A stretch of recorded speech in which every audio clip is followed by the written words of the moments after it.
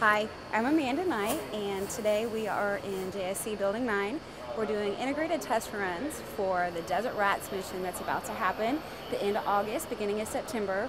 Behind us, you'll see uh, some integrated testing that we're doing with the crews and the space exploration vehicles, the SEVs, as we like to call them.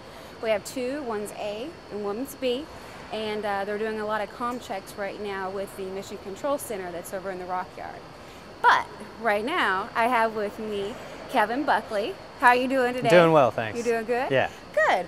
So Kevin is an intern here who has been very fortunate enough to actually get to work with the Desert Rats type of Yeah. analog this year, right? Mm-hmm. So how did you even get involved in something like that? Um, well, my school uh, had a senior design project which we entered into the Moonwork competition. Okay. And uh, our school actually won that competition, and the prize were these internships that they offered. So, Offered internships. Sweet. Mm-hmm. Yeah. So what school is uh, this? I'm the University of Maryland, University of Maryland. and we were teamed uh, actually with Arizona State University.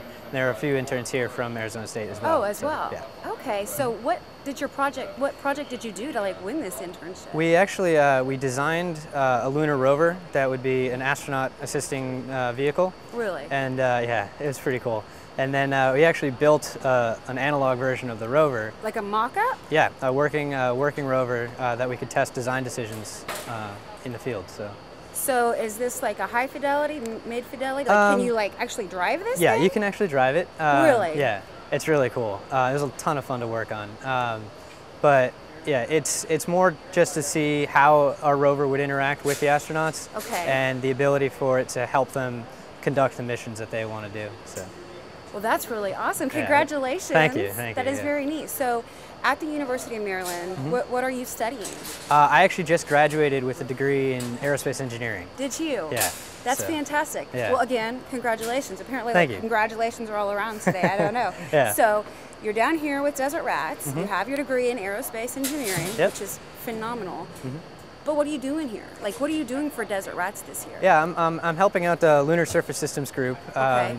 and we're doing work to uh, coordinate uh, objectives between the different groups that are conducting tests.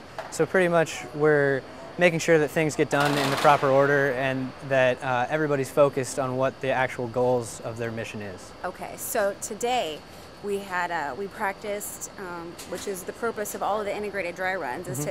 to to make sure that we're up and ready and we have a lot of practice per se Right. before we go out to the mission. And we had a team meeting this morning, Mm-hmm. and you brought up a whole bunch of slides. So, what? Tell me tell me a little bit about that. What? That was for uh, what we call the mission management team Okay. meetings, um, and it's sort of an overview of each day's objectives. For each of the different for each of the different groups. Each of the different groups, Uh, to say what they plan to achieve, what they actually did achieve, and um, how changes from either the previous days or in their uh, goals for the pr- uh, that day affect going forward. Oh, So, wow. yeah. So you'll be busy. I'll be busy, Especially yes. when changes are made or we have contingencies or Yep. anything we have to change.